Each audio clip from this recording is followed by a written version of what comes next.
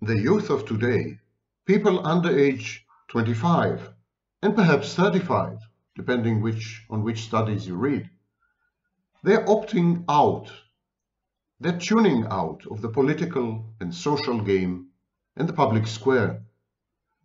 They decline to participate in the life of any collective, not even as rebels. Rebellion is a form of participation. The youth of today, contemporary youth, merely seek to sabotage the established order via mass avoidance, virtue signaling, and self-aggrandizing morality plays, withdrawal, and passive-aggressive resistance. They constitute a new phenomenon, the avoidant revolutionary. And today I'm going to explore the reasons for this, historical, economic, social, and psychological. Stay tuned. As a youthful 64 years old, with a no wrinkles skin and the haircut of the century, I would like to discuss today adulting, also known as emergent adulthood or delayed adulthood, or among disparaging circles, no adulthood whatsoever. My name is Sam Vaknin. I'm author of Malignant Self-Love, Narcissism Revisited, and a professor of clinical psychology. Two facts before we proceed. Now, distinguish facts from opinions. I'll give you a tip. Opinions are not facts. and here's another tip, a twofer. Tip. It's a tip for your edification. Facts and not opinions. So, two facts. Number one, the prevalence of pathological narcissism among people younger than 25 years old is dramatically, dramatically up when compared to the 1980s. It's a convoluted way of saying that many more young people are narcissists than used to be in previous generations. Here is fact number two. The incidence of depressive illnesses and anxiety disorders among people younger than 25 years old is shockingly a shocking multiple of the incidence of the same disorders and diseases only 40 years ago. So, if you put these two facts together, the outcome is a bit harrowing. A sizable proportion of young people, millennials and Gen Z, a sizable proportion, are mentally ill. These are facts. I refer you to studies by Twenge, Campbell, and many others. Now, put these facts aside, and today we're going to discuss yet another problem, another phenomenon.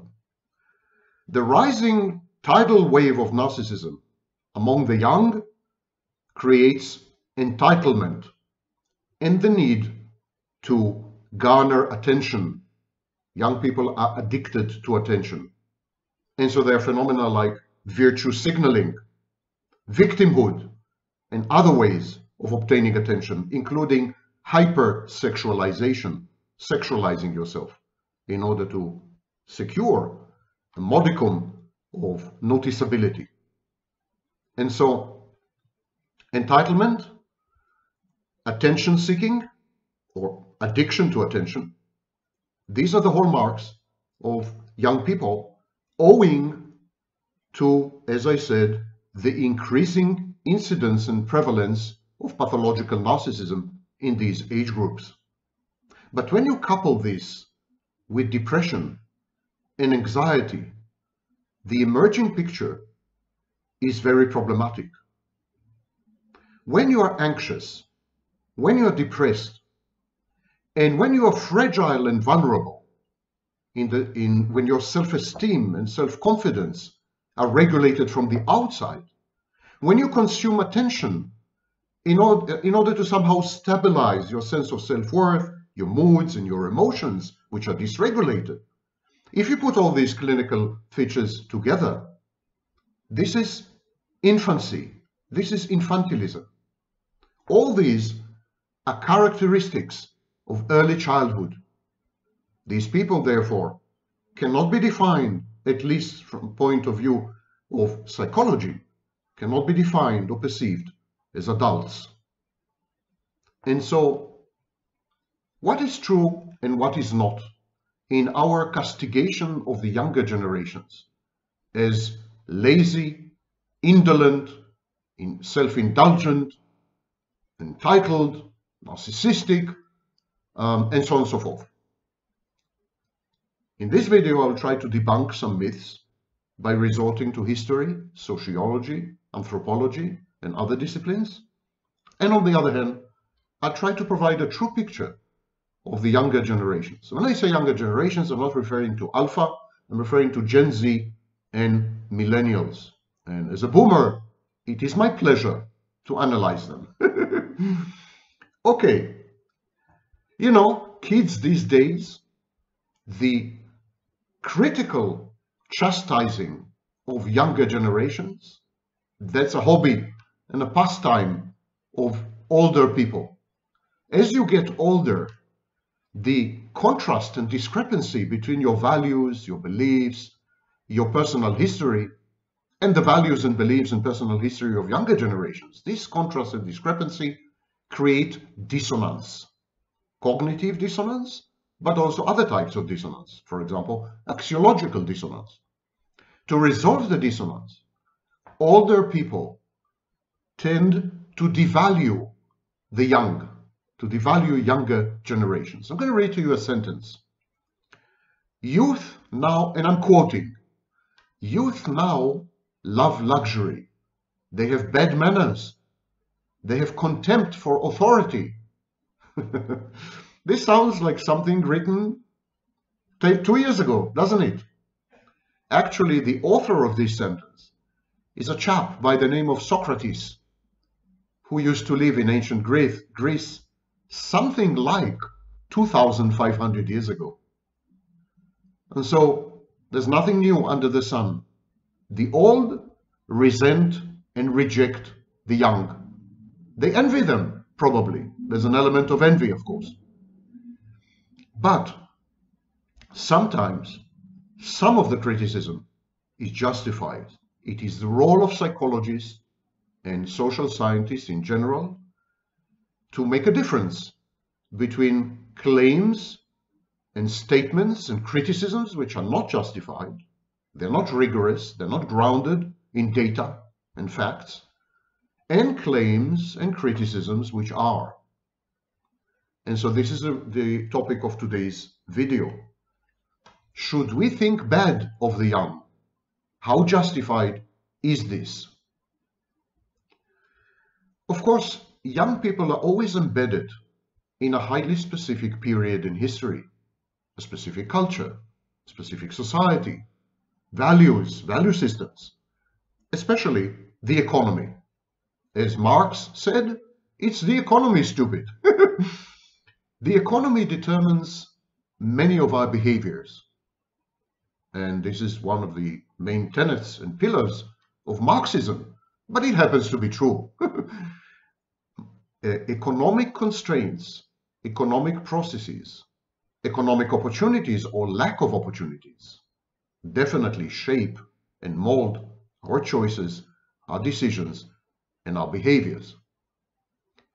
Additionally, we tend to be forgetful when it comes to history, or maybe just ignorant. History has many lessons to teach us. Comparative history, when we compare ourselves to other periods in, in, in history, we gain perspective. We begin to understand, as I said, that nothing is new under the sun, or under the moon, for that matter. So today, all the rage is what is called delayed adulthood or emergent adulthood. Younger generations are supposed to be resistant to growing up. They don't want to grow up. They don't want to become adults. They have no motivation, no stamina, and no work ethic. Indeed, there is no arguing that the transition to adulthood is a lot more chaotic nowadays, and that the very definition of adulthood is very fuzzy and unclear. We don't anymore have the kind of phases or transitions in life which denote adulthood. We don't have this anymore. People go back and forth. They transition from a childlike phase of life into an adult-like phase of life, and then they transition back to a childlike phase of life. It's as if, it's as if in postmodern society, every individual can be simultaneously a child, an adolescent, and an adult. It's as if these phases in life are like a menu in a restaurant, and every day you can choose to be something else. Today, you're an adult. Tomorrow, you might as well be a baby. And this simultaneity, simultaneity of periods in life, phases in life, transitions in life, or what Gail Sheehy called passages in life, this simultaneity is very new. Throughout human history, at least recorded history, and probably prior to that, the transition from stage A to stage B to stage C was rigid, predetermined, mainly socially predetermined, and irreversible. That is not the situation today. Traditional adult roles and adult chores and the social control that comes with them are these are now not age dependent, not even context dependent. These are choice dependent. We choose to act as adults. We choose to, we decide to adopt certain roles and certain chores. And implied in this choice and decision making process is our ability to reverse course, to decide to not be an adult and to not be to not act as one, to not fulfill or undertake certain chores and certain roles. Moreover, each stage in human development is now taking a lot longer. We have learned in the past 50 years that the human brain completes its development outside the womb and it takes 25 years. Adolescents don't have a full-fledged brain, especially when it comes to executive functions. And the brain finishes its development around age 25. Therefore, the very perception of childhood and adolescence has been extended. We now accept that someone aged 21 is still an adolescent, twins, the twins. There's the teens, and there's the twins. And so as we extend the periods in life or the stages in life, as we accept that childhood can terminate at age 12 rather than 6, that adolescence can terminate at age 25 rather than 18, the very concept of adulthood is cast in doubt, becomes very, very ambiguous and equivocal. And so if we cannot agree on what is adulthood and what makes an adult, how can we discuss the topic at all? A lack of terminology undermines our ability to have a cogent, coherent, and cohesive discourse. Still, I will do my best. Um, adulthood can be defined in two ways. A biological way, saying you have reached a certain age, now you're an adult. You're capable of procreating, you're capable of working, you have the right musculature, the right genitalia, the right brain, and so therefore you're an adult. It's a biological definition. And of course, the other kind of definition of adult is a functional, societal definition. When you fulfill certain roles, when you act in certain ways, when you undertake certain chores, when you accept certain tasks and assignments, when you comply with certain social norms, conventions, and mores, this is when you become an adult or this is when you attain adulthood. This is the approach in Judaism. At age 13, a male in Judaism is becomes an adult by virtue of conforming socially, adhering to social expectations, obeying social norms, embarking on a path which involves decisions largely dictated by society. And so, laziness, apathy, indolence, self-indulgence um, may represent, on the one hand, a recoil from life, a clinical phenomenon known as constriction, a fear of confronting life, a dread or anxiety provoked by the need to fit in, to function, to make a living, to take care of yourself and of others if you make a family. So there's a lot of angst involved. This is one possibility. And the other possibility is that these traits, the aforementioned traits, traits which are, have been hitherto largely considered negative, are actually a positive adaptation to a changed environment. And we will consider this perspective, unusual perspective, a bit later on. The term adolescence, the idea of adolescence, is very, very new. In the 19th century, there was no concept of adolescence or teens or anything of the sort. Even the, even the idea of childhood was very new. Um, and so adolescence is a, a word coined by G. Stanley Hall in the early 20th century. Stanley Hall claimed that there is a distinct period between childhood and adulthood, and that this period is characterized by specific biological, cognitive, psychological changes and processes and transformations, and that these changes, which are innate, which are inexorable, correspond to changes in social roles. So there is kind of tandem, there is a synchronicity of internal changes, biological, psychological, etc., etc., hormonal, etc., etc., and external changes, how one functions in society. And he called this transitional period, he called it adolescence. And so adolescence was born. But how does one become an adult? Stanley Hall failed to define or failed to delineate clearly the boundary between adolescence and adulthood.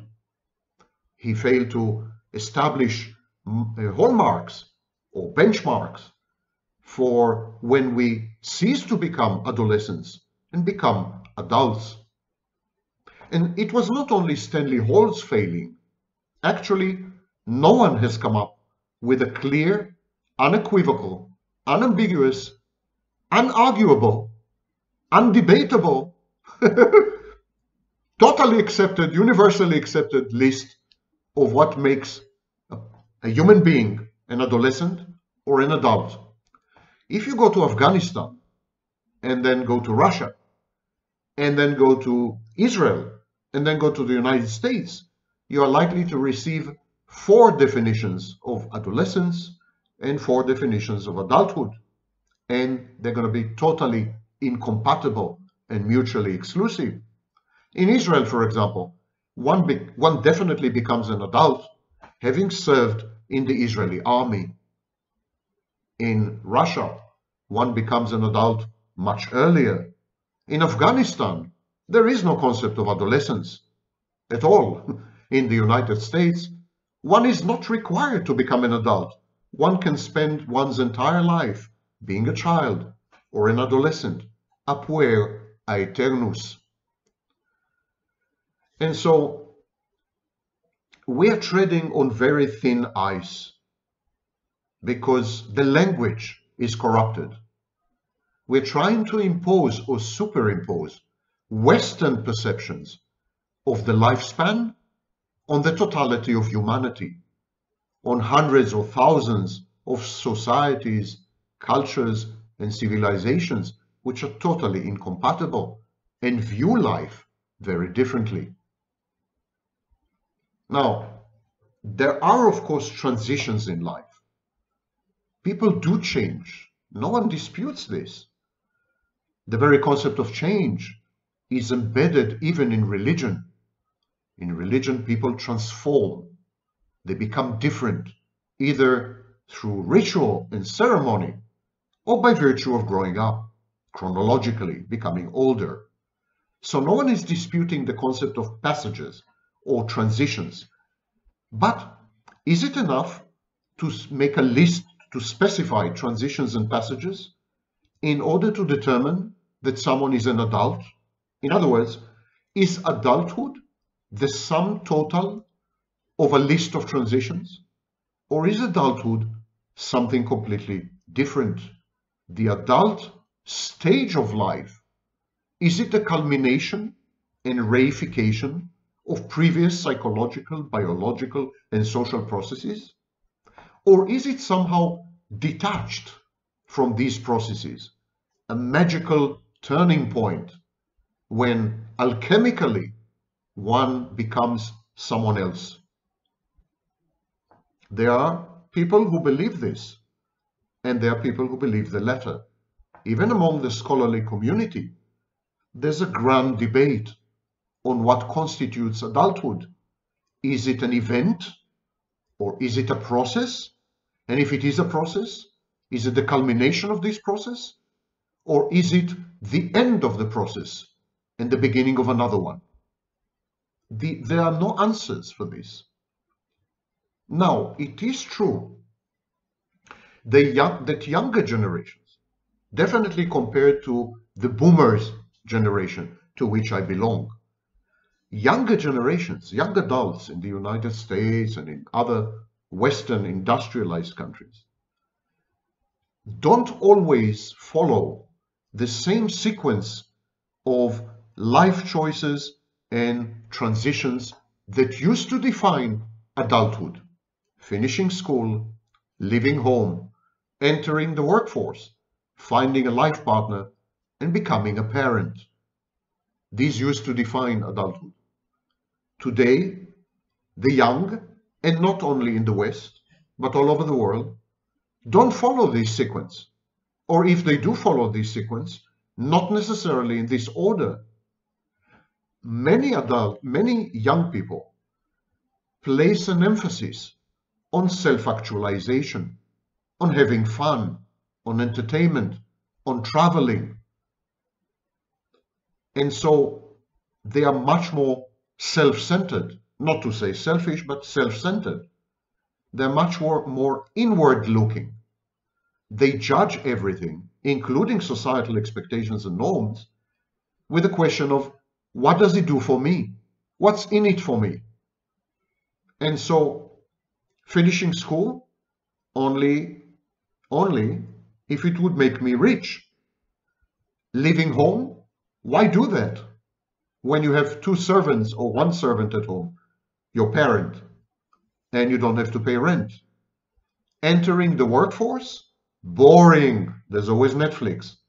Finding a life partner, who is crazy enough to date nowadays? uh, dating is positively a risky enterprise in becoming a parent? Well, maybe much later in life.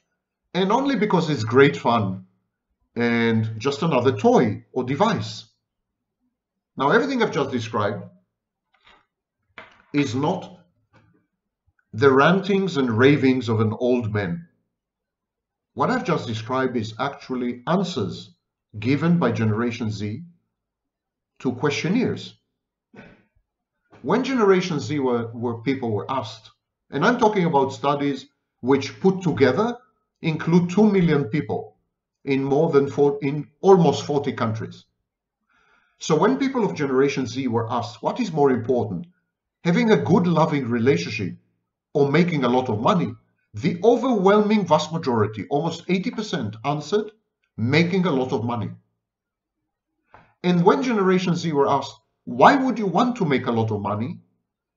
They, their overwhelming prevalent answer was because I want to travel a lot and I want to have fun. When Generation Z were asked, why not have a relationship and, you know, fall in love? Their answer was because it is detrimental to a career. It would hinder the, my career. A career and a relationship are mutually exclusive. When Generation Z, members of Generation Z were asked, why not have intimacy and sex?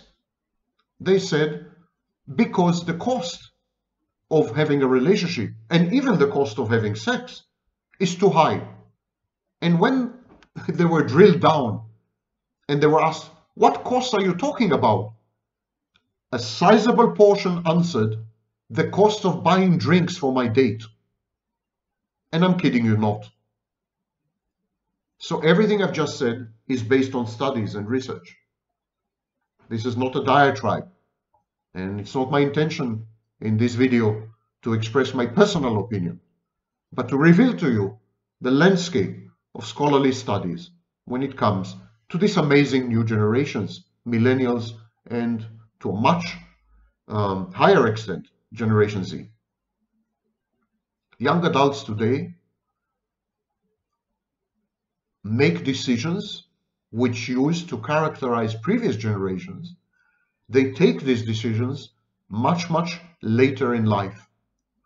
According to a study by the Congressional Research Service, 2018 study, uh, the majority of young adult men between the ages of 16 and 24 were, did not have a permanent job, were not married, and did not have children. Nothing wrong with that. But if these are the determinants of adulthood, if these are inextricably associated with being an adult, then these people are not adults. And now we're faced with two choices. We can redefine adulthood to reflect the values of Generation Z and the millennials. So we redefine adulthood and we can say, for example, adulthood is when you make enough money to have a lot of fun and to travel a lot. Well, in this sense, a proportion of Generation Z and millennials are adults because the actual fact is that the majority of them don't make enough money and they don't travel. These are just fantasies and aspirations. But we could redefine adulthood this way. Why not? But if we define adulthood in the old-fashioned way, you know, family, career, um, Uh, parenthood, chores, obligations, responsibilities, and so on and so forth, I'm sorry to say that Generation Z and millennials are not adults by any stretch of this old-fashioned definition. One indicator is marriage or the formation of permanent committed dyads, permanent committed couples. Marriage is an institution. It's not necessarily an indicator of long-term commitment and investment, seriousness about life. You could live together as a couple without marriage, and it would still qualify. So let us look at committed relationships, one variant of which is marriage. According to The Atlantic, the median age that men now commit to a relationship is 30 that was 2018, by the way. The figure now is 32.5. So men wait until they are 33 years old to enter a committed relationship, regardless of its, of its nature. Similarly, women nowadays wait until they are 30, 30, before they settle down with a life partner or a partner, a committed partner. In other words, people under the age of 30 are very averse. They're very much against commitment, long-term relationship, intimacy, sharing, being together, etc. They are highly individualistic. Some would say malignantly individualistic. They're atomized. They're solipsistic. They refuse to work with other people. And by the way, they refuse to work with other people also in the workplace. In the wake of the pandemic, millions of people under the age of 25 resigned because they have had, they have had to go back to the office. When these people were asked, why did you resign? They said, because I don't want to meet my colleagues again. People under the age of 30 regard any human interaction, sex included, to be unpleasant, uncomfortable, onerous, and best avoided. Indeed, the frequency of sex among people younger than 35 has collapsed. People younger than 35 are having less sex than their parents and considerably less sex than their grandparents. And even the number of sexual partners has declined precipitously. People under age 35 are having much fewer sexual partners. Promiscuity is limited to a sliver of this young population, and these are usually people with personality disorders or dark personalities. Sex and intimacy are the main modes of communication among the young. This is a biological fact. This has nothing to do with value judgments, history, sociology, analysis, criticism. Forget all this. It's a fact that sex and intimacy are biologically determined, especially among the young. It's reflected in hormonal balances. In other words, in order to not have sex, and in order to avoid and shun intimacy as a strategy, the young need to invest a lot of efforts. They need to fight this natural urge. They need to fight it actively and proactively. Consequently, for example, the consumption of pornography, which compensates for a lack of sex, consumption of pornography has supernova exploded among the young. Young, the young, and the very old, by the way, are the two groups which constitute the bulk of consumers of pornography. And that is compensation for sex. When it comes to intimacy, the young compensate because there's a need, there's a biological need for intimacy at this age. The young compensate by creating fake intimacy ersatz intimacy, pseudo intimacy, for example, arrangements like friends with benefit, benefits, or artificial intelligence partners. And so the picture is factually problematic. It's not, it's not a question of the values of a specific generation and that we always do we always chastise and criticize the young? And it's all true, but there are serious factual problems, serious real problems with the younger generations. In a minute, we will see why. This delayed adulthood of millennials and Gen Zers, Gen Zers is a strong indicator of immaturity, some kind of giving up on life apathetic, an apathetic attitude. Laziness and indolence are usually strong indicators of a depressive reaction. And when you avoid life, when you constrict your life, when you when your life is comprised of two cats and one Netflix, more or less, and going and coming back from to a job that you detest and hate, then of course you are depressed and you avoid responsibility and accountability you become highly self-indulgent. You're trying to cater to your depression and anxiety by self-soothing. There's a variety of self, self-soothing behaviors which are much more common among the young than among other generations. And that includes eating disorders, drug abuse, substance abuse, etc., etc. They're much higher among the young than among older generations. And so when we look at people in their teens and 20s. There is definitely a delay in adulthood. There is a discordance or dissonance between the adult experience of previous generations and the adult experience of these young generations. Many of these young generations finish school, but other hallmarks, other determinants, other signs of adulthood are delayed.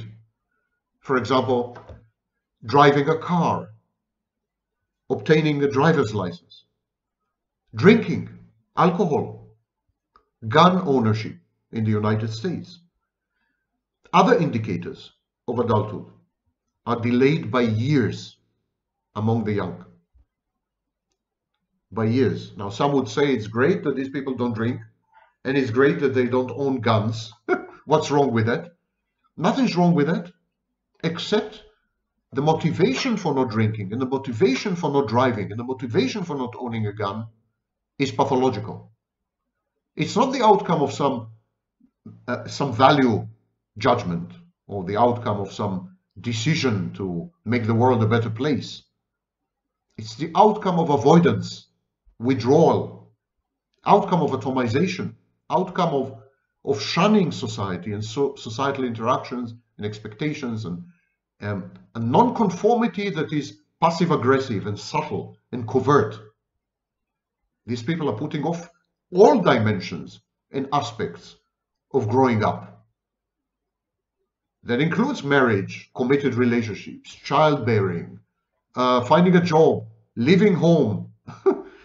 I mean, one third of people under age 35 still live with their parents. In a minute, we'll come to the reasons for this. But the fact is there. So, these propensities and proclivities of the young distort the institutions which allow people to socialize. Early in life, we undergo a psychological process known as socialization. Agents of society, like mother and father and teachers and peers and role models, agents of society, introduce us to the values, norms, expectations, edicts of society. Agents of socialization allow us to learn how to behave, how to behave socially and sexually. These are known as sexual scripts and behavioral scripts. And so gradually we are inducted into society, we're introduced into society with a kind help and support and succor of adults around us. But if adults don't exist, or if people around us are not adults, the whole process of socialization falls apart, and society's ability to function is severely hampered. And so, when you look, for example, at modern dating, you see this in action. Because the participants in modern dating are infantile, they haven't grown up, they're not adults. The very institution of dating became infantilized. Similarly, when you hold a job, when you have a career, if you're not an adult, you're not likely to assume responsibility for your actions. You're not likely to be accountable for your mistakes. And you're not likely to take pride and respect your profession. Because that's what adults do, not children or adolescents. So, the corruption of the individual the inability of members of Generation Z and millennials to become adults reflects on society at large, undermines it, ruins it. It's not a question of decadence, it's a question of decomposition and disintegration. This is the risk. Each and every individual in the younger generations is not at risk. They live parasitically off mother and father, they don't work, or they are temping, temporary jobs. They play video games between six and eight hours a day, shockingly. They go to work and come back doing the minimum, the absolute minimum necessary. It's even a philosophy, it's an ideology. They're proud of it. Go to TikTok and Instagram if you don't believe me. They're proud of doing the absolute minimum at work. And so each individual, each member of these generations is not harmed, is not harmed in any meaningful way. It's, there's no risk for to survival. But the totality, what we call society or civilization, or the collective, is damaged. Is damaged. And there is a survival issue, the survival of the species if our entire species is comprised of children and adolescents, we're not going to survive. Adults are needed in order to survive. Adulthood is a critical feature of survival. It's not a bug, it's a feature. People live longer. Longer life expectancy may have delayed childhood, the onset of adolescence, and the emergence of adulthood. Possibly that's one of the reasons. There's no longer a ticking clock, partly because most women, in the West at least, don't want to have children, and partly because those who do want to have children can delay the decision until age 35. Medicine allows for that.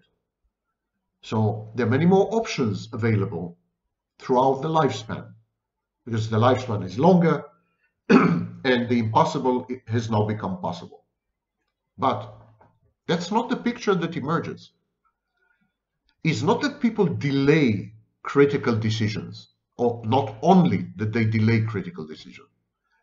It's just about half of them never make these decisions at all.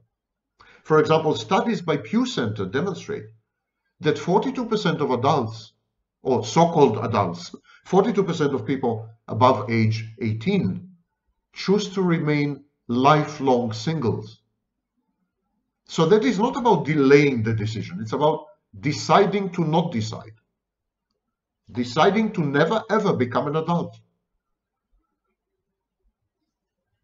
Um, the economy has a lot to do with it.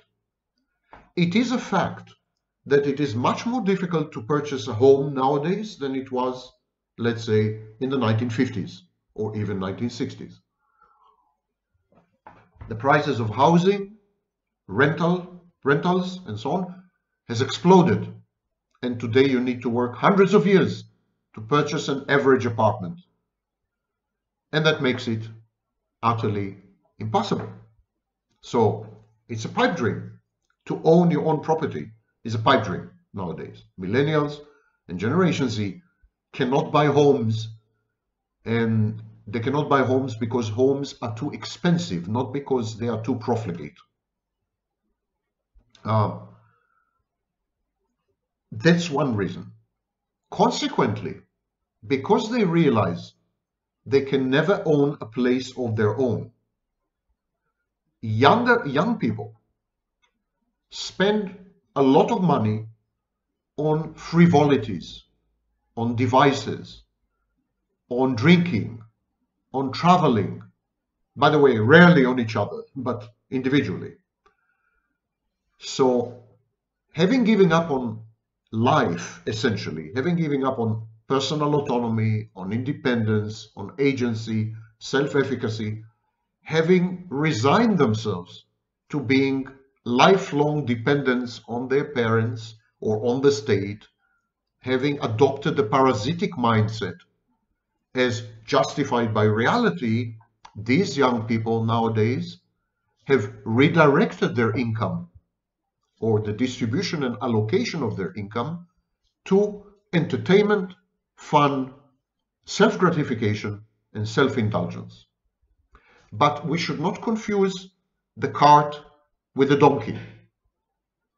The reason for this reallocation of economic resources, the reason for the fact that young people do not invest their income productively, but just squander it away on entertainment and fun and other non-productive issues. The reason is because there are no productive options. It's not that the young don't have enough money to buy a home because they've spent the money on avocado salad and on clothes for their cats. That's not the reason. They are spending money on avocado salad and lattes because they cannot buy a home. There's no horizon. There's no future. There's no hope. So young people end up dividing their lives equally between video games and traveling. And I'm kidding you not. This is, this is what studies show.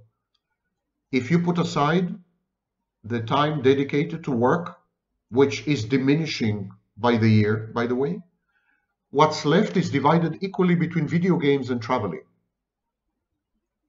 And substance abuse and drug abuse and alcohol, uh, stimulants, and so on and so forth, as an accompaniment to these activities. Traveling used to be a very important part of the education and upbringing of young people. In the 19th century, a young person of good stock, of good upbringing, would travel around Europe, in Italy, in France, and get and get acquainted with Western civilization, art, and culture. It was thought to be a very important part of education. Today's traveling is different. When the young travel, they do not frequent museums.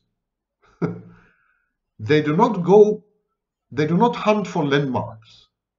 Studies have shown that when the young travel, they dedicate most of the time to raves, music festivals, and drug and alcohol consumption. This is the kind of traveling they do.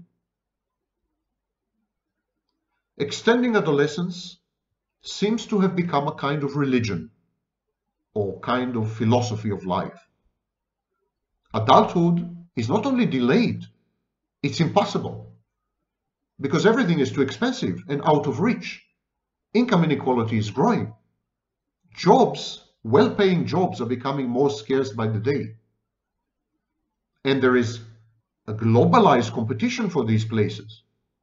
And so people give up. Growing up, people give up.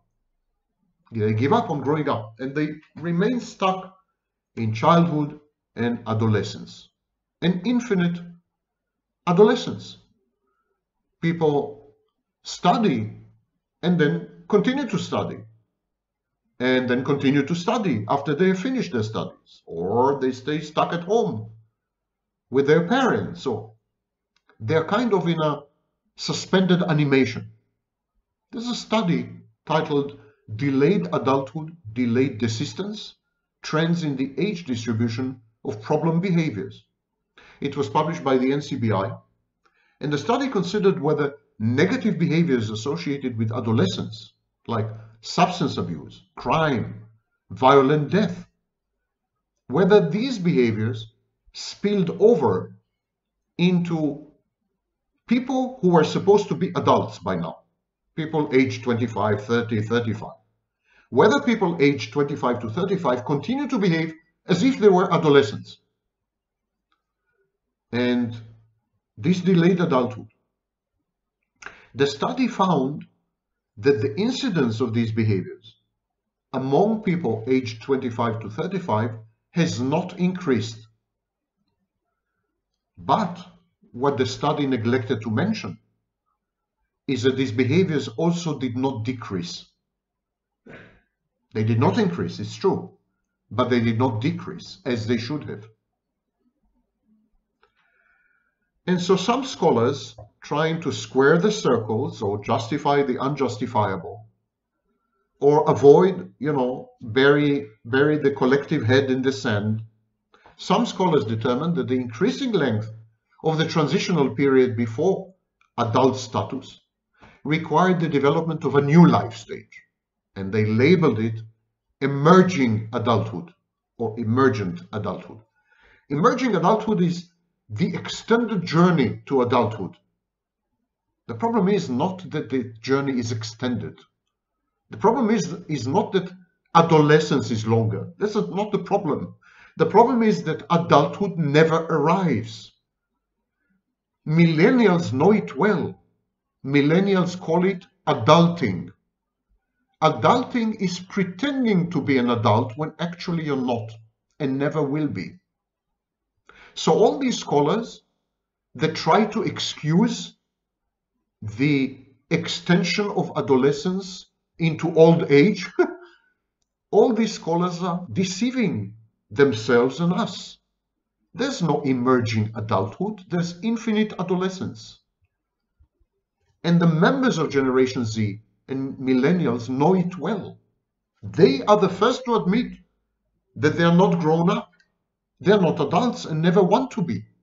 They disparage adulthood. They think it's a bad thing to best avoid it. Emerging adulthood was first proposed by Jeffrey Arnett, and it is supposed to span the, the ages 18 to 29.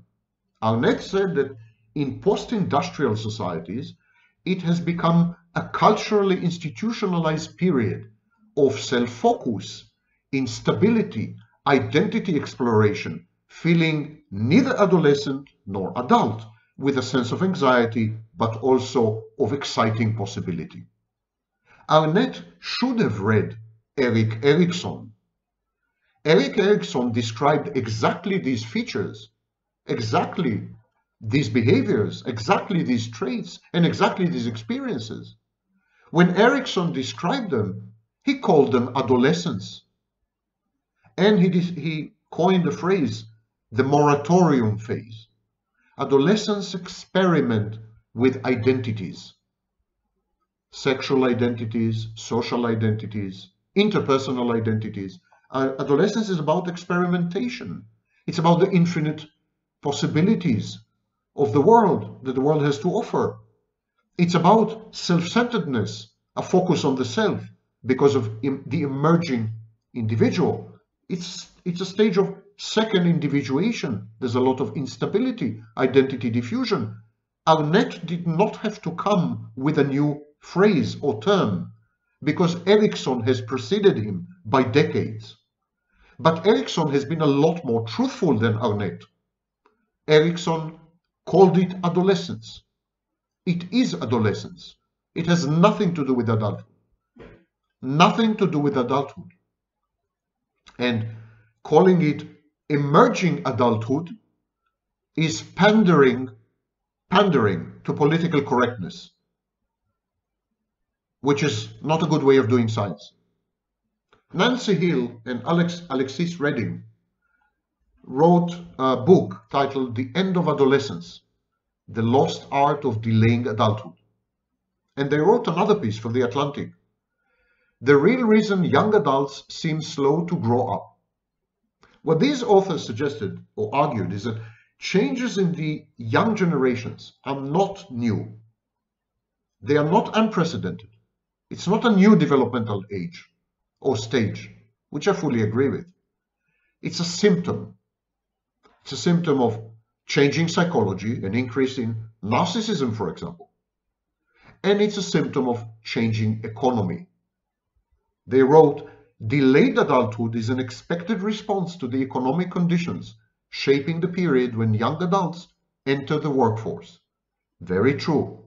What they neglect to mention is the dramatic transformation and alteration in the psychology of the younger generations young generations, younger generations are focused, as I said, on attention, gathering and seeking attention, on self-gratification, on entitlement, on virtue signaling. These are all narcissistic activities, traits, and features.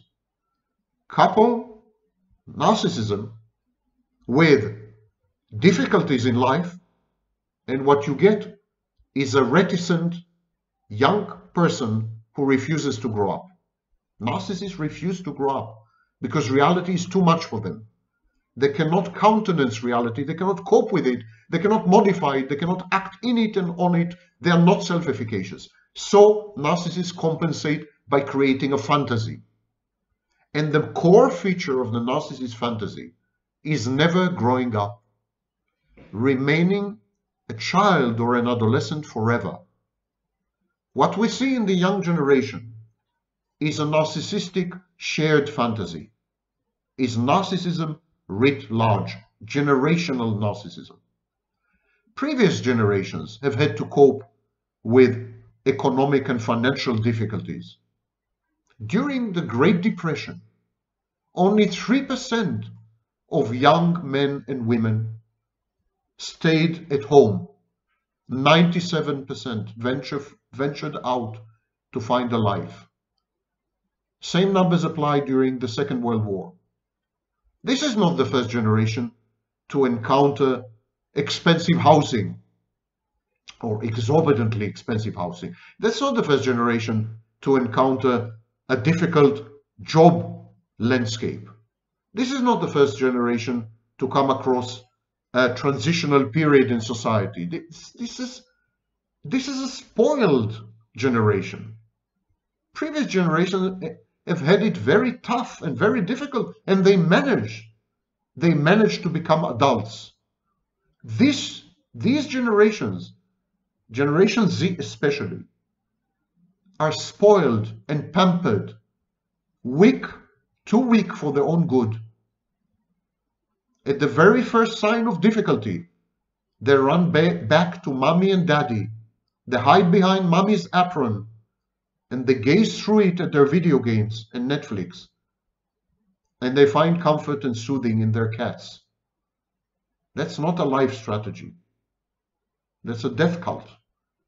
A death cult because it elevates material possessions and objects and money above the value of living a fulfilled and happy and intimate and loving human life. Delayed adulthood has become the norm in these generations, millennials and Generation Z.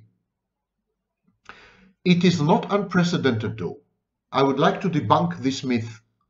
There is a myth that what's happening nowadays to Generation Z and millennials the first time it's happened. It's never happened before in human history. That's complete nonsense. It's not true. You don't have to travel far. In some periods in the 19th century, more than half of young people did not get married. They remained lifelong singles. That was especially true with women, and these women were known as spinsters, old maids who never got married. Half, half of them never did. So you don't have to go far. Um, and Redding, for example, noted that in the late 19th and early 20th century, young people achieved the signposts and indicators of adulthood at ages which are similar to young people today. Take, for example, 1900, the year 1900. That's 120 years ago. 41% of adults in the year 1900, between the ages of 18 and 29, 41% of them lived with their parents Similarly, in the year 2020, 47% of adult of, of people between ages 18 and 29 lived with their parents.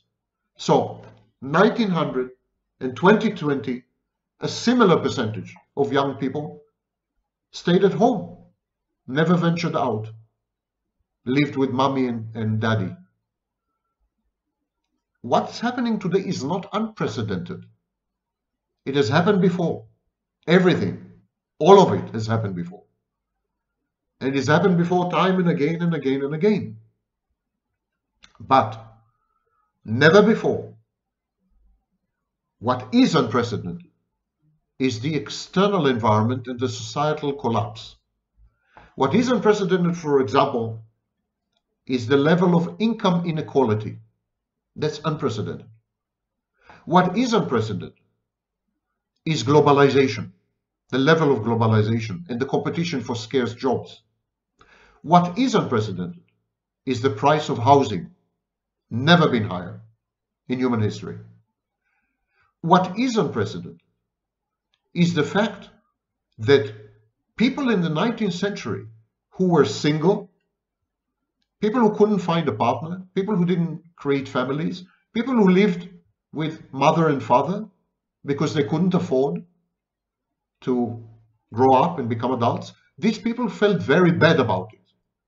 Very bad. Society mocked them and they criticized themselves. They were self critical. They felt that they were failures and losers. They had a strong motivation and incentive to change their conditions, to become adults. While people today, young people today, are proud of the way they live. They brag about it. They think it's cool. In other words, delayed adulthood or no adulthood has become an ideology. Ideology. Now people are committed ideologically to not growing up because adults suck. Adults are bad. Adults are evil. The world of adults should, is best avoided, should be shunned, and should be, should be torn down, should be brought down. And so you see, for example, that the biggest cohort, the biggest group, the greatest group of population who vote for autocratic dictators and wannabe dictators like Donald Trump are people under the age of 30. People under the age of 30 support overwhelmingly terrorist organizations, criminals, dictators, because they want to destroy the system. They believe in destruction. They're, in this sense, they are nihilists or anarchists. Majority of people under age 30 consider uh, democracy, human, uh, certain types of political rights and so on and so forth to be wrong and outdated because they believe that adults have created an environment which is anti-youth. What I'm trying to say is that the refusal to grow up, the refusal to become adults, is an ideology. It's the young against the old. It's a civil war. The refusal to become an adult, delayed adulthood, emergent long-term stretching of adolescence and childhood, these are passive aggressive. This is passive aggressive sabotage. The young are trying to sabotage the system, to undermine the establishment, to destroy the old world. And they do this by refusing to participate in reality by withdrawing from reality. And they withdraw from reality by not growing up. When you do not become an adult, you don't play the game. And when you don't play the game, the game is done and finished and gone. The game critically depends on participation. Non-participation is a form of civil resistance, passive aggressive sabotage. And that is what the young are doing nowadays. And they choose populist leaders with authoritarian dictatorial leanings because they believe that these kind of leaders will help them to destroy the establishment, to ruin the existing order, and to replace it with something else or new, which is not even defined. It's fuzzy. Young people nowadays are destructive, self-destructive, but also destructive. Their motto is destruction. That's why you see people in support of Al-Qaeda and Hamas and Hezbollah and ISIS. And I'm not talking, I'm not talking about young Muslim fundamentalists. I'm talking about 20% of people under the age of 25 in the West. Why are they, why do they support these nihilistic or Islamist terrorist organizations? Because they are terrorists. They, they promise to destroy everything. Destruction has become the idol of the young. They believe that existence has become intolerable and unbearable and they must tear down everything.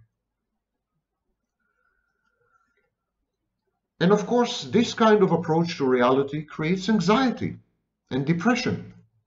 So if you believe that the world is hostile to you, if you believe that the world does not and will never afford you opportunities, if you believe in a kind of ambient atmospheric conspiracy against the young, if you believe that no matter, no matter what you do, no matter how hard you try, no matter how much you invest, you will never get anywhere. You won't even be able to afford an apartment, let alone a family. If you believe in this, and if this happens to be reality, then of course you would be anxious. Of course you'd be depressed. Of course you would become narcissistic. Narcissism is a compensatory defense against intolerable reality. Of course you would become psychopathic. And of course you would support psychopathic leaders, psychopathic movements, psychopathic solutions. This is what the world is going to. Research at Harvard in the 1950s, 1960s, and 1970s revealed that uh, students throughout these decades felt anxious, lost, pressured, uncertain about the transition to adulthood. There's nothing new about this.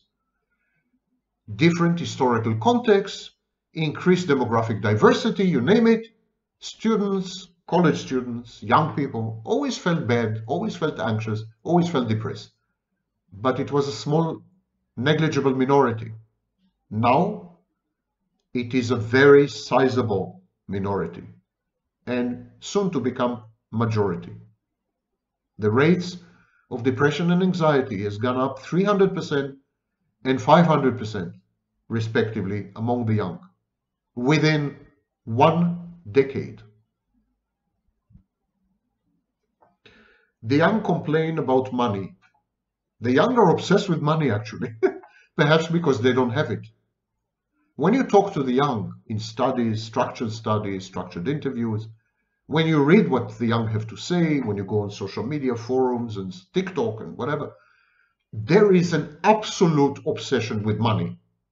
Money has become the central and the only value. Money trumps intimacy, trumps relationships, forget all the rest. It's all nonsense. One should focus on making money, but not making money with hard work, not making money with uh, uh, diligent studies, not making money by having a work ethic, a horizon, a plan, making money quickly, get rich quick, all kinds of scams. This is, this is the new religion of the young. Finishing school only to find a job, finding a job only to make money, making money only to get rich, getting rich only to travel. The ideal is to go on pension at age 35. I'm kidding you not. Recent studies have shown this. And so becoming financially stable and independent is no longer the goal. That's considered pedestrian, mundane, maybe even unattainable. What is the goal is becoming filthy rich and filthy rich now. Young people equate adulthood with spending power. The more money you, you have, the more adult you are. When we ask young people, and again, we have studies comprising well over 2 million, when we ask young people, which of the following do you consider a sign of adulthood? Leaving home, finding a partner, starting a family, making a lot, a boatload of money.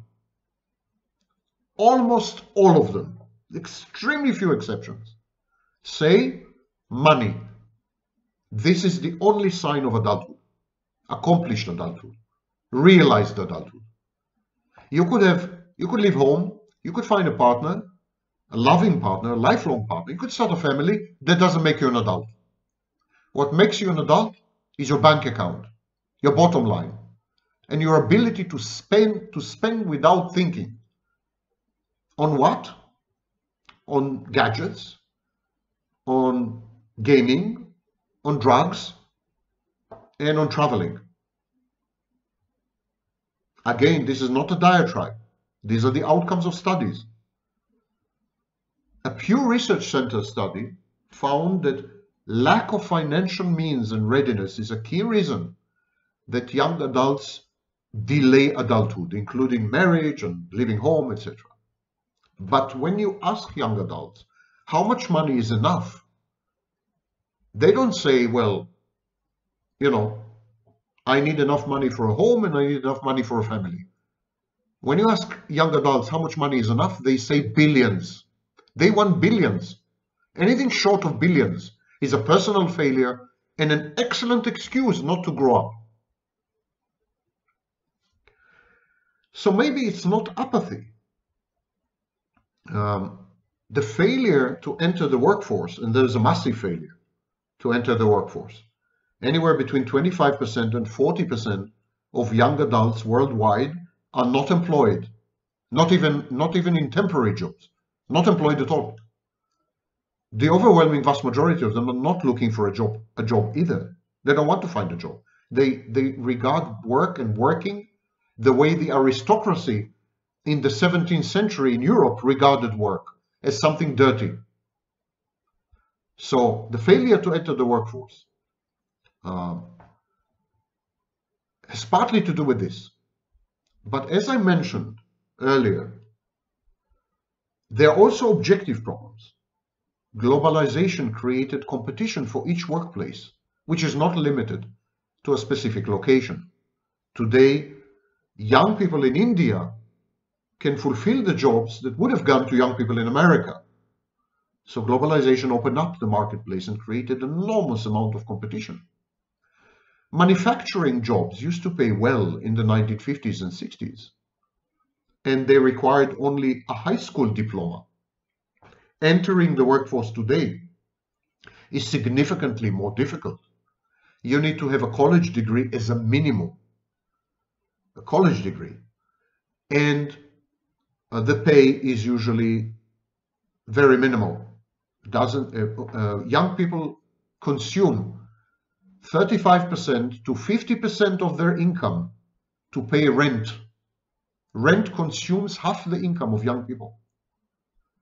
And so you either find a McJob in a McDonald's flipping flipping burgers, and you can find a mid-class, middle-class kind of job, but then you would spend most of your income on on rent, on a on a roof over your head, and a tiny, tiny fraction and minority end up in jobs in the financial sector as entrepreneurs, and they make the billions. And they are the idols and, asp- and aspirations of the young. That's why the young are besotted and enamored with the likes of Elon Musk, who is far, far from genius, to use a British understatement. So, jobs that enable financial independence nowadays are scarce. They require additional training, additional education. Even entry-level jobs require a degree. And then the pay is not good. And so, of course, everyone wants to skip, skip this and get to the point. Younger generations have been brought up uh, to expect instant gratification. Click of a mouse and you're gratified. And so they resent the fact that they have to work for decades in order to end up with an egg nest that hard, can hardly suffice for an apartment. They want to be Elon Musk, nothing short of Elon Musk. Now, I must distinguish between young women and young men young women are much more mature, much better educated, and much more serious about life than young, than young men. According to, the, to a 2016 study in, conducted by the US Census Bureau, um, the contractor was APM Research Lab. Young women have little to do with young men. For example, 70% of young women between the ages of 25 and 34 were employed. Only 49% of men. And so young women are making more money than young men nowadays. Under the age of 25, young women are making more money than young men. For each graduate, for each male graduate, there are almost two female graduates. And education is, of course, the best predictor of future income. Young women are on the ascendance. They're taking over. And they're taking over because young women do not reject adulthood. They do not refuse to grow up. They embrace the tasks and the signposts and the pass of the passages of life. They get an education. At some point, they get married. Some of them have children. All of them invest in themselves much more than men do. Men have given up on life completely, especially young men. And young men have given up not only on life, but they've given up on young women. Any young woman would tell you how impossible it is to find a partner nowadays, a life partner, as a heterosexual. Now, there are many, many excuses to delay adulthood. Housing is expensive, jobs are scarce, but the number one excuse is education, and especially the concept of further education. You attend college, you finish one degree in one topic, you start all over again to obtain another degree. And so it goes on and on. People are attending college or university. They anticipate getting a better job at some point. And but they spend much more time in college or university. Recent studies have demonstrated that people, young people, graduate college or university two to three years older than before, than, for example, in the 1970s and 1980s. Uh, ironically, people who do not attend college and do not attend university, people with a high school diploma, uh, they start they start adulthood and they start life much earlier, about three three years earlier on average. They assume and they take on the responsibility of adulthood in an earlier age. So you have two three populations of young people. You have young women who are serious about life, highly educated, earners, providers, they end up being single mothers in about half the case, case cases. so you have young women. You have young men and women who have never gone to college, never gone to university. They're high school graduates, and they start life much earlier.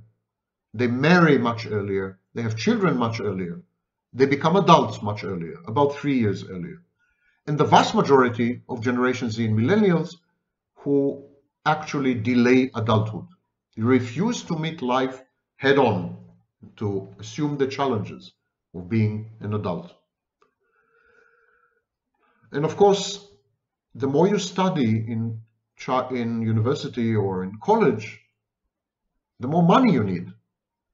And so young adults take credit, loans, student loans, and student debt. And the amounts are enormous. The average, the median loan is $25,000, but many, many young adults have student loans, student, student debts, which amount to 100, 125, 150,000 dollars.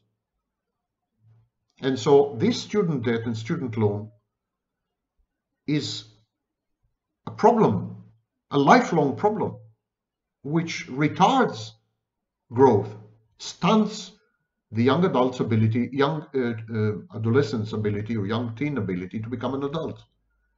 The more debt you assume, the more credits you take in order to study, the less you are able later on in life to invest in a family, in a home, because you have to pay back the loans. Student debt is the number one reason given by young people to delay important life decisions and milestones, including moving out, getting married, having kids, buying a home, etc., etc. So education became a way to delay adulthood. Rather than become an adult, people go to university or to college, they assume huge amounts of loans and debt, and this way they have an alibi, they have an excuse for not growing up. I can't grow up right now. I can't be an adult right now because I have to pay back my loans. I can't be an adult right now because I'm studying. And while I'm studying, mother and father should support me. Education became the number one way to avoid the responsibilities and chores of life. And so, when you look at universities and colleges, college students are actually young adults who refuse to be adults and use or leverage education as a way to avoid life and reality. I mentioned housing costs, and of course, housing costs play a major role. Uh, people can't afford a home of their own, and many people cannot claim to not be able to afford to move out. But we should distinguish two the two claims that they cannot afford to purchase an apartment or a home or a residence of any kind, that part is true. Housing costs are explosively, exorbitantly expensive. But that they cannot move out is not true. Though rental costs are very high, if you agree to share your habitation with others, rental cost is actually as low as it used to be in the 1950s. In other words, the problem with young adults is not that rentals are very expensive. It's that they refuse to share. They refuse to share. They don't want to cohabit with another young, young person. They could share the rental cost and then the rental would be, you know, acceptable and tolerable, not prohibitive. But to do so, they need to share the apartment with someone. And today, young generations refuse to do that. They would rather live with father and mother than share an apartment with someone. Sharing in general has a bad name. Sharing, cohabiting, spending your life with someone, intimacy, relationships, any interpersonal interaction has a very bad name. Even having to go to work with your colleagues, that's a nightmare rejected by young people. A Bankrate survey conducted by research firm YouGov found that 74% of American adults view home ownership as a hallmark of success. Nearly two-thirds of American adults said that affordability was the main reason they hadn't yet purchased a home. But these studies indicate that the problem is purchasing a home, not renting an apartment or renting a residence. Renting is crucially dependent on the willingness to share, and it is the willingness to share that is missing. When young adults take longer to achieve the markers of adulthood, it is not that something has changed about them, it is that the world has changed, suggest some scholars like Hill and Redding. I wholeheartedly disagree. This flies in the face of 99% of the research and the studies that we have. This is politically correct woke nonsense. Young adults definitely have changed, psychologically speaking, socially speaking, ideologically speaking. They're not the same. They're a break with the past. Nothing's wrong with the break for, from the past if it is if it enhances functionality, if it helps, if it is more healthy. But the break of the younger generations from the past is pathological. The younger generations are sick, mentally sick. And this is not Sam Vaknin. These are studies. Delaying adulthood is perceived, as I said, by these generations as luxury as fun, as the right strategy, and as an ideology. Um, in some ways, young adults regard getting stuck in childhood or getting stuck in adolescence as a kind of fantasy, a wonderful movie that's ongoing. Um, and so when you go to college or you go to university, um, it's an extension of this. They perceive college and university as a kind of shared fantasy. When young adults were asked, for example, in studies by Lisa Wade and others, when they were asked, what were they looking forward most in college and university? a majority said sex, free sex. That's it. University and college are perceived as one huge party. It's a party. Sex, drugs, the freedom to engage in sex while drugged or while drunk. Sex while drunk is the modus operandi of young people in colleges. Now, college students are distinct in this sense.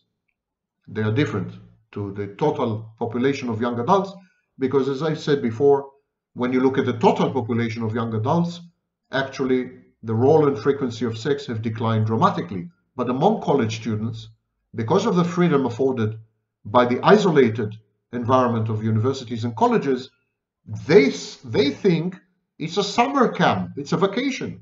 They don't go there to learn, they don't go there to advance, they don't go there to gratify curiosity or even to acquire skills for a better job in the future.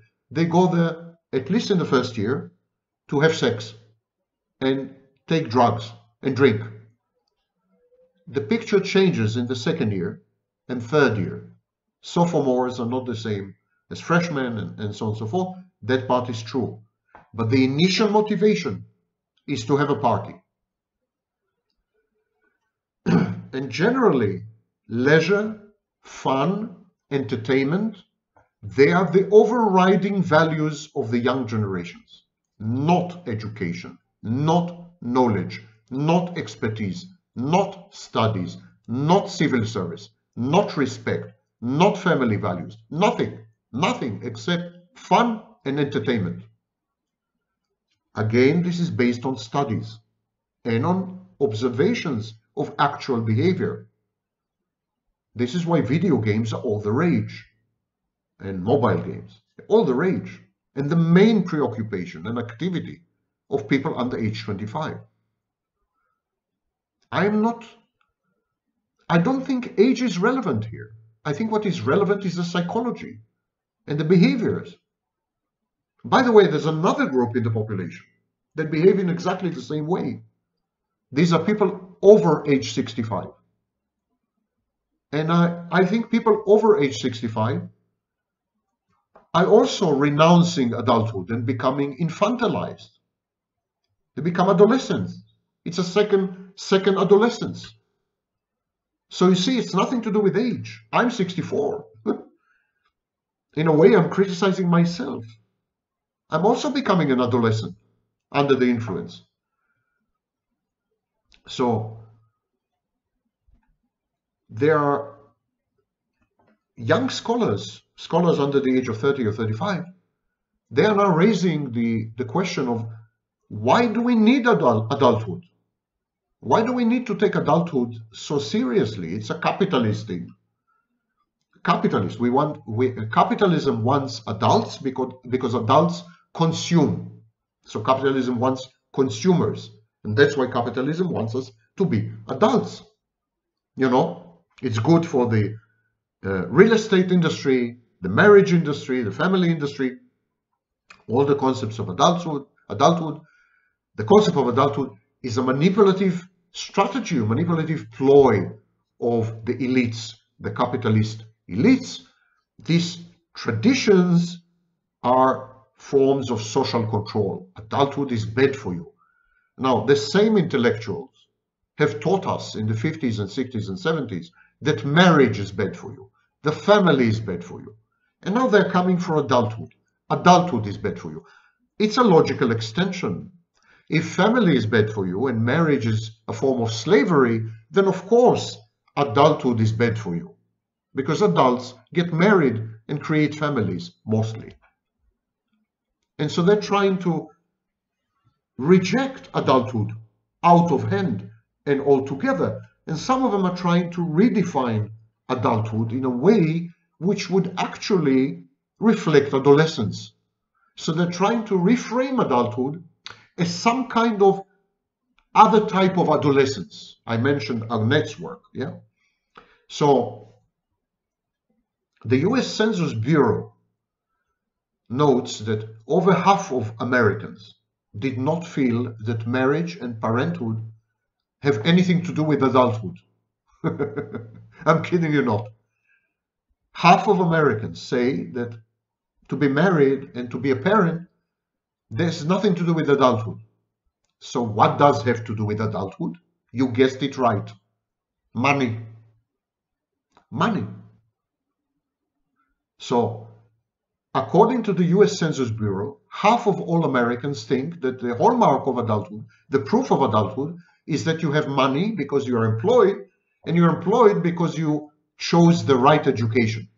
So even education is an instrument of making money, not a goal in itself. There's nothing interesting about education. It's boring, it's repetitive, it's routine, it's rote, it, it's, it's biak. It sucks, but unfortunately, it's the path to money. And without money, you're not an adult. Even if you're married, even if you have children, even if you're a responsible citizen, even if you're a pillar of your community, even if you do everything right and you're a good person, essentially good person, empathic, supportive, loving, caring, compassionate, and all these were listed, all these were considered irrelevant to adulthood. Only thing relevant to adulthood was money. And when you cross-cut, when you cross-analyze or meta-analyze the study, you see that these half of all Americans who came up with this response were under age 35. A lot of the criteria for adulthood, of adulthood, depend on context, on period, on culture, on society, of course. In some cultures and civilizations and societies, owning weapons and fighting is proof positive of adulthood. For example, Israel. For example, many Muslim countries. And so it's true that we cannot have a universal definition of adulthood. But I think there are two core components of adulthood. Regardless of how adulthood manifests, how it is expressed, what specific behaviors and choices are associated with adulthood, there are two things that are immutable, never change, at the core of adulthood. Number one, responsibility. Adults are responsible for their choices, for their decisions, for their actions, and for the consequences of all these. Responsibility, of course, which goes hand in hand with accountability. Number two, agency. The belief or the conviction that you're a master of yourself and on your, of your life, and therefore you should behave in ways which are conducive to a society which is essentially empathic and helpful and good to live in. Agency and responsibility. And this has nothing to do with income, gender, period in history, location, religion, culture, civilization, racial background, ethnic background, Nothing to do with any of this. All adults are agentic. All adults are responsible. Millennials and Generation Z refuse to assume both. They claim to have lost agency because of objective circumstances, like the rise in housing costs, feminism, you name it, and Consequently, they refuse or decline to accept responsibility.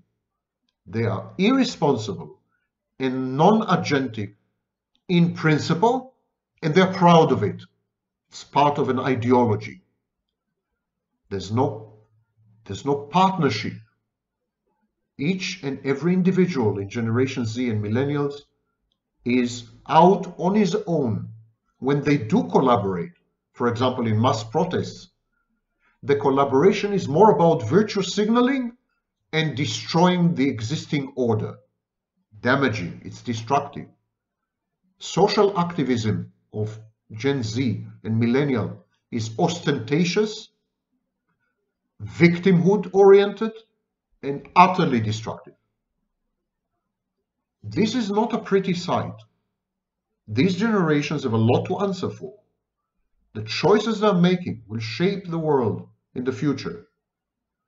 But the choices they're making may mean that the world will not have a future at all.